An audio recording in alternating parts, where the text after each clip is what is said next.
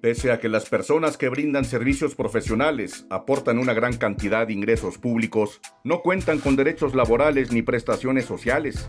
porque los contratos por honorarios no establecen una relación laboral. Una iniciativa presentada en la Comisión Permanente considera indispensable reformar la Ley Federal del Trabajo para crear un fondo proveniente del pago de impuestos sobre la renta de las personas físicas bajo el régimen de servicios profesionales y con recursos adicionales en función de la disponibilidad presupuestaria. El proyecto del senador Israel Zamora Guzmán del Partido Verde que se turnó a las Comisiones Unidas de Trabajo y Previsión Social y de Estudios Legislativos Segunda del Senado,